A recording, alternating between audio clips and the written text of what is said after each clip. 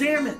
Swear jar. The swear jar is all the money we have to send you to college, so you should be happy I curse. Well, if you can curse, then we all can curse. Is that what you want? For the next minute only, you can curse. Oh, good, you guys.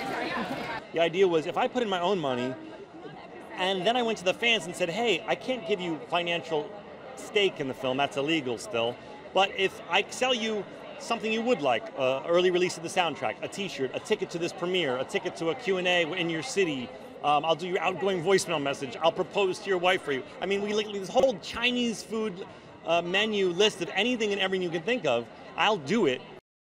What I love about the James Avery story, may he rest in peace, is that not only did he do me a favor and do a cameo in the film, but he gets a giant laugh with a line that he improv.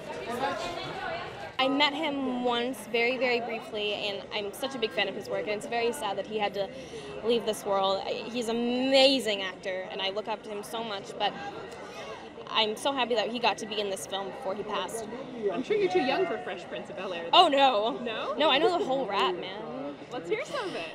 In West Philadelphia, born and raised, on the playground is where I spent most of my days. Chilling out, maxing and relaxing, all cool. I was shooting some b-ball outside of school when a couple of guys, they were up to no good. Started making trouble in my neighborhood. I got one little fight, my mom got scared. She said, you're moving with your auntie and uncle in Bel Air.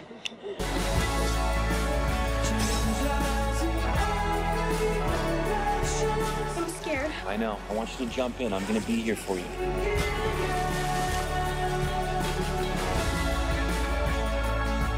When we were kids, my brother and I used to pretend that we were heroes, the only ones who could save the day.